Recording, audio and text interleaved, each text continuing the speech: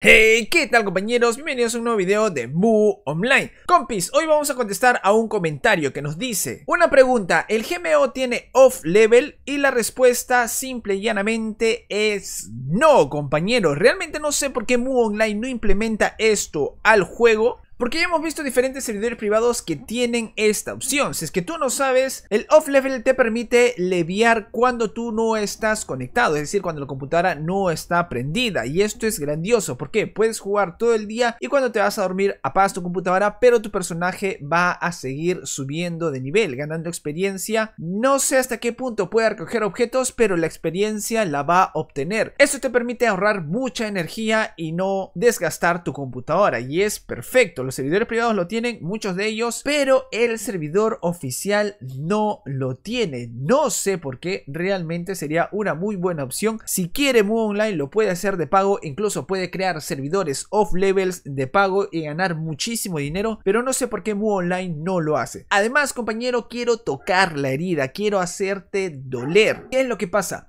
Mu Online tampoco ha puesto la opción de reconectar al juego. Si tú juegas League of Legends, Dota 2 cualquier otro tipo de juego moderno, ¿qué es lo que va a pasar? Que de repente tienes un bajón de internet, de repente se te desconecta el modem por un, dos minutos. El mismo juego está programado para esperar a la llegada de internet. incluso te aparece una pantallita arribita que te dice reconnect. He visto imágenes de servidores privados que tienen esta opción. Imagínate que tienes 10 cuentas farmeras y ping, hay un bajo de internet, se te desconectan las 10 cuentas, entonces imagínate loguear otra vez esas 10 cuentas o incluso has dejado tu computadora prendida y se te va el internet justo cuando saliste de casa y justo cuando estás en el bendito bus. Todo ese día se ha perdido porque no tienes nadie que loguee tus 10 cuentas. Y creo que Moon Online lo puede hacer de pago, pero no sé por qué no lo hace. Hay una opción que cuando tú compras el Gold Ticket puede reducir el consumo de recursos del videojuego.